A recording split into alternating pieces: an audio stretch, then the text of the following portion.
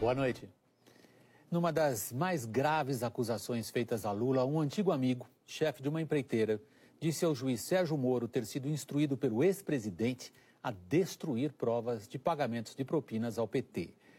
Para tornar o céu ainda mais sombrio para o lado de Lula, o ex-ministro da Fazenda, Antônio Palocci, homem de confiança do ex-presidente, disse ao mesmo juiz Sérgio Moro que tem nomes, fatos e endereços a revelar que levariam a Lava Jato a trabalhar mais um ano. A defesa de Lula insiste em desqualificar os delatores.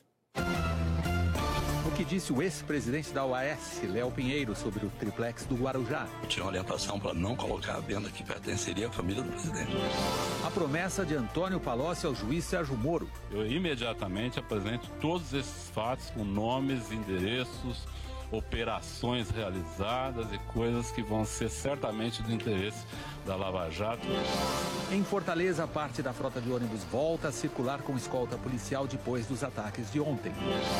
Nova queda no número de vagas com carteira assinada. Alguns economistas, os números do CAGED foram como um banho de água fria. A polícia francesa caça um segundo suspeito de ter participado do ataque a tiros em Paris. O atirador e um policial morreram. E mais, Noite de Brasileiros na Libertadores. E uma exposição em que o visitante pode tirar dúvidas diretamente com as obras. Você é palmeirense?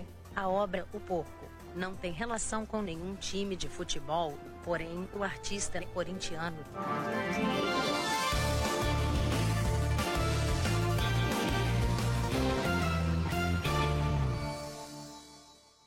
Um dos